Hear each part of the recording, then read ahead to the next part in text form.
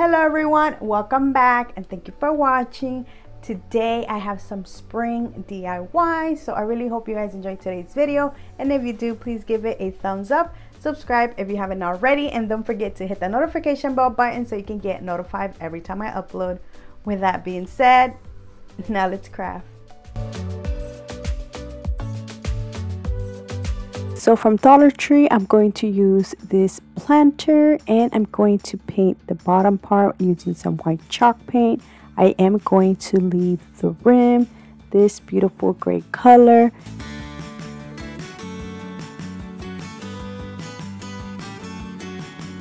And I'm going to drill two holes, two on each side.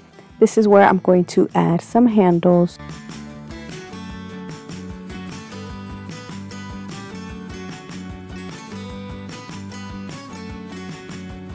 I will be using some Dollar Tree nautical rope to make the handles.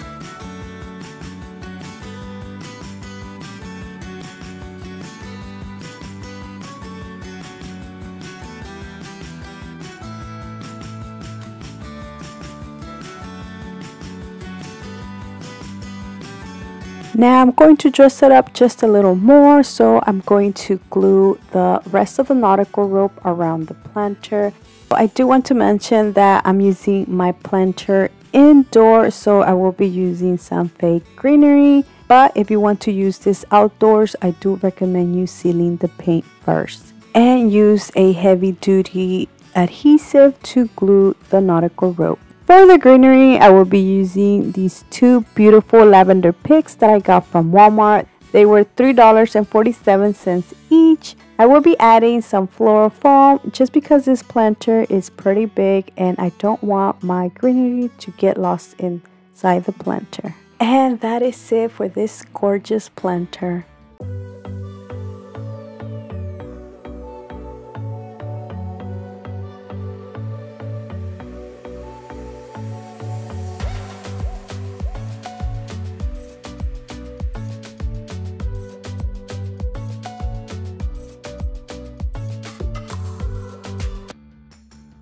For my next project, I will be using this beautiful sign that I got from the Dollar Tree. Now this is already beautiful, so all I'm doing is making this more my style. So I'm going to remove the little cactus planter and I wasn't careful so I did rip some of the paper off and I do try to fix it by just placing it back in there but as you can see you can still tell a lot so to cover that up, I decided to use this little planter that I got from Michaels. I did get this after spring last year, so this was very inexpensive. Now the next thing I will be doing is just using this hammer to make this a little bit thinner. As you can see, I almost messed it up because I hit it too hard. So I just left it alone and decided to use it like this. Before I add this to my sign, I'm going to add some jute twine around the top part of this little planter.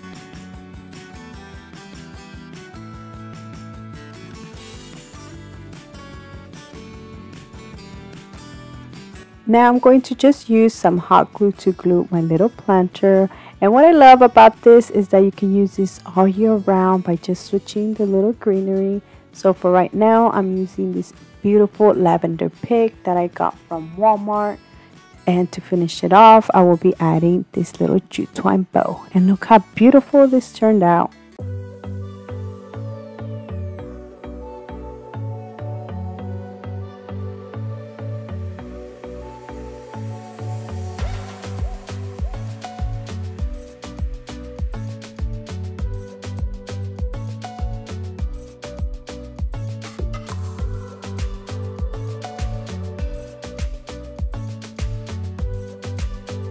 My next project is definitely one of my favorite ones. So from Dollar Tree, I will be using one of these Valentine decor signs. I know this is from Valentine, but Dollar Tree does carry similar ones all year round. It's just depending on the season what they might look like. So I'm going to start by removing the paper. The only reason I removed it was because it was already peeling off, so I decided to just remove it. I will be using the other side so I did remove the sticker and then I paint over this using some white chalk.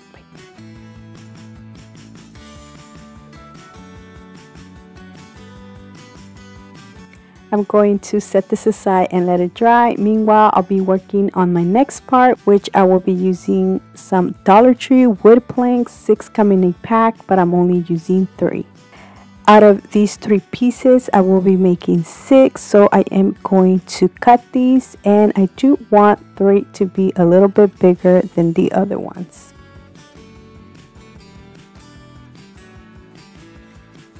To cut this, I will be using my handsaw and this meter box, which I got from Home Depot or Lowe's, one of those.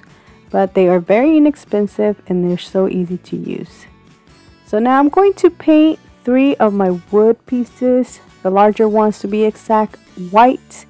And then the three other smaller ones, I will be using the Waverly chalk paint in the color steel.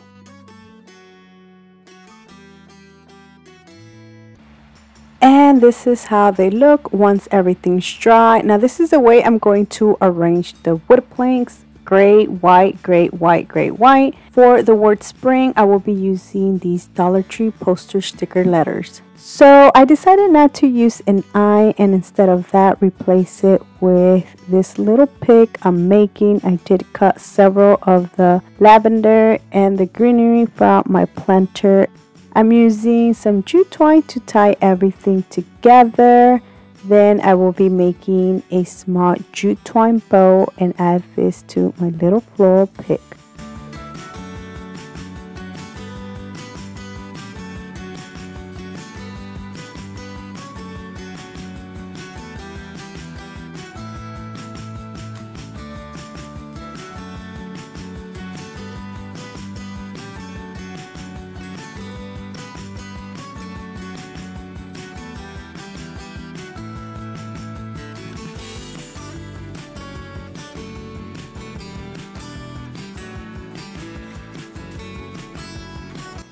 And look how beautiful it's turning out. Now the next thing I did was just glue these little wood slats and the way I'm doing it is I'm going to overlap them but just a tiny bit to where you can still see the words and I'm using some Jenga blocks on the back for extra support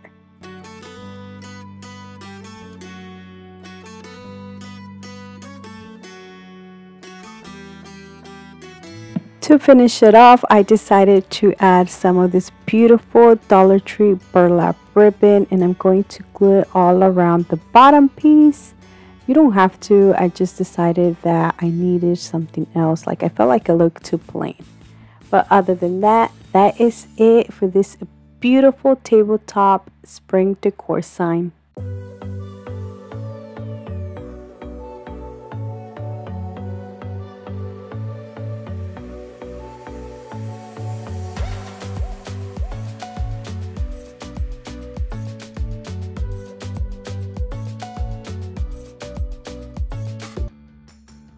For my next project, I will be using this Walmart wood plank sign, which was $6.68, but Dollar Tree carry signs that you can use instead. I decided to use this because it's already colored gray, so I didn't have to paint anything. Plus, it goes well with the rest of my DIYs. I'm going to start by removing the sawtooth hooks on the back and then add them on the other side so I can use this sign horizontal instead of vertical. I'm going to add the word home in the front. So for the letters, I'm using these beautiful burlap letters that I got from Walmart. They were either 97 or 98 cents each.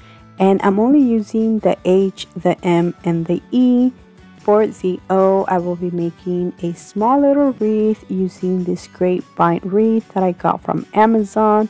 I'll have the link down in the description box in case you want to check those out. They were very inexpensive.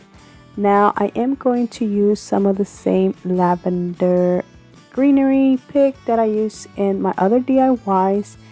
I am not going to add all around the wreath. I'm going to just add some on one side and some on the other side leaving a space in between so I can add a small bow.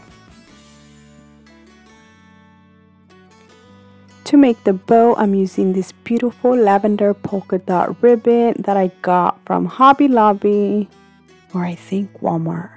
I don't remember, but I did get it from either one of those stores. And I'm going to just make a small little bow and add it to the center of my wreath.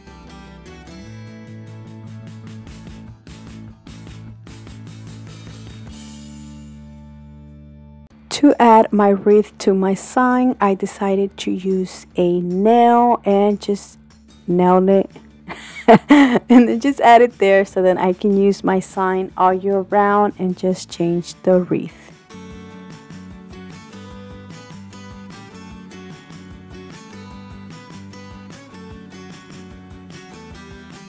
That is it for this beautiful home decor sign.